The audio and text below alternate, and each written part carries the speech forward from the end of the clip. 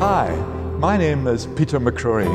I'm the Dean for Medical Education at the University of Nicosia and Emeritus Professor of Medical Education at St George's in the University of London.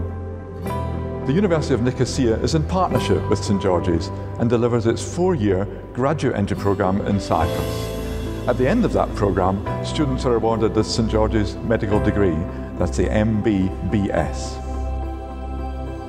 I decided to apply for the course in medicine from St George's at the University of Nicosia because it combines so many factors that I found really appealing.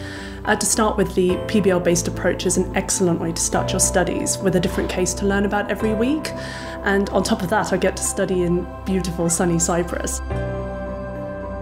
The programme we've designed for you is modern, innovative, relevant, and fun. Over the four years, you learn how to take histories from patients, how to examine them, how to reach a diagnosis, and how to treat and manage their illness. And you work with real patients right from the very start of the programme.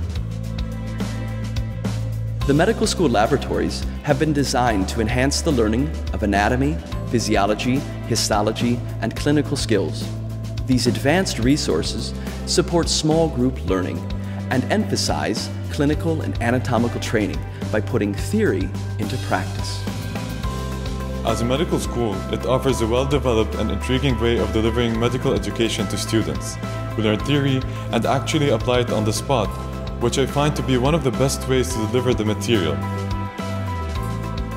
I'm delighted to be in the University of Nicosia as the foundation professor of obstetrics and gynecology. The St. George's curriculum is well acclaimed and uh, it is recognized by the General Medical Council and the students who have been with us seem to be uh, doing well when they go to the foundation years. I'm currently doing my F1 position at the John Radcliffe Hospital in Oxford.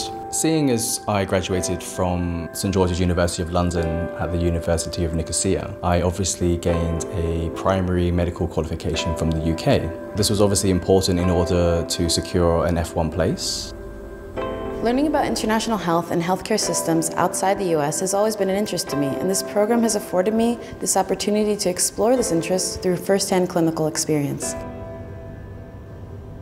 Comprising more than 40 nationalities, with the first cohort having graduated in 2015. The program's innovative, student-centered and systems-based curriculum integrates clinical and scientific aspects from the outset, promotes contextual and collaborative learning, critical thinking and reflection, skills that are essential for a career in medicine. One of my favourite things about this school are the volunteering opportunities through the Mobile Clinic Club. I've been involved in expeditions to rural villages to perform health screening tests and raise health awareness within these communities.